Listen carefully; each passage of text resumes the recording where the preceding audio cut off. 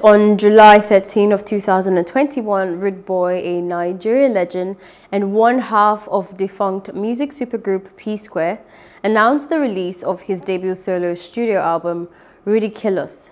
The 12-track album will be released on August 5th of 2021 and will feature absolutely no one. Production is handled by Chrissy Strings, Selebobo or Beats, and Lord Sky. The executive producer is Rudeboy himself and the project was supervised by his older brother Jude Engees Okoye. Since P-Square became defunct, Rudeboy has released hits like Reason With Me and Audio Money. His brother Mr. P also dropped his album earlier this year. Hello, hope you enjoyed the news. Please do subscribe to our YouTube channel and don't forget to hit the notification button so you get notified about fresh news updates.